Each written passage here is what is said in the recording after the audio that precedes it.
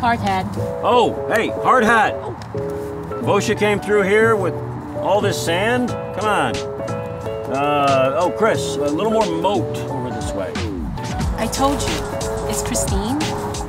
Uh, Ian, yes, another tower. On the right, uh, no, two towers. Yes, sir. Dan? Ah, you like my section? I love it! Love it! And we are so far ahead of schedule.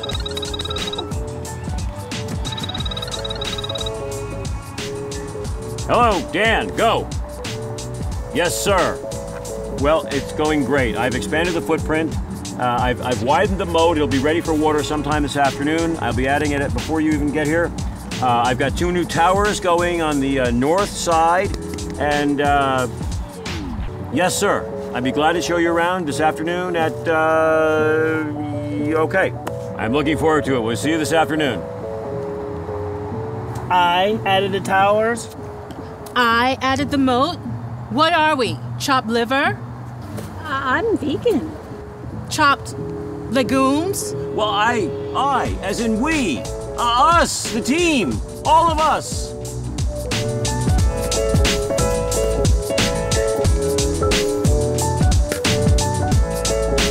Good leader is a person who takes a little more than his share of the blame and a little less than his share of the credit.